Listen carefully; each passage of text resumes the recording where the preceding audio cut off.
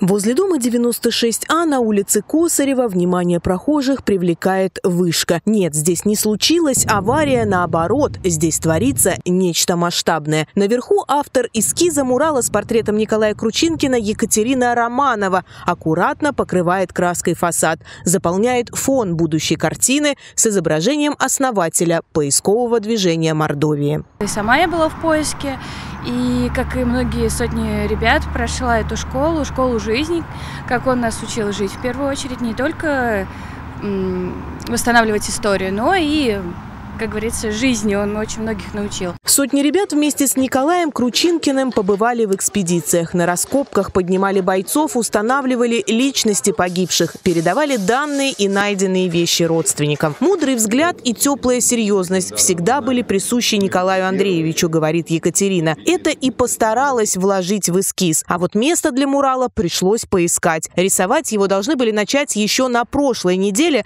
на другом фасаде. Но жители того дома отказались, а на Косарева 96А согласились. Огромное спасибо жильцам, в первую очередь домком, потому что она э, достаточно оперативна, потому что на той неделе это было в четверг, когда все отменилось, и мы буквально за два дня все это вот подписали, все согласовали с жителями. Поэтому вот приступили сегодня к работам.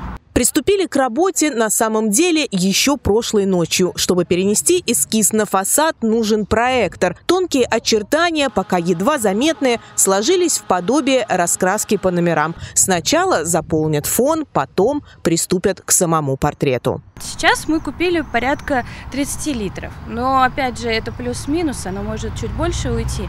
Потому что вот на данный момент я вижу, что там, где белым я делаю фон, а, он, скажем так, плешит цвет, и придется и даже, возможно, в три слоя красить. Соответственно, пока что мы рассчитывали на два слоя покраску, как и стандартную акриловую фасадную краску.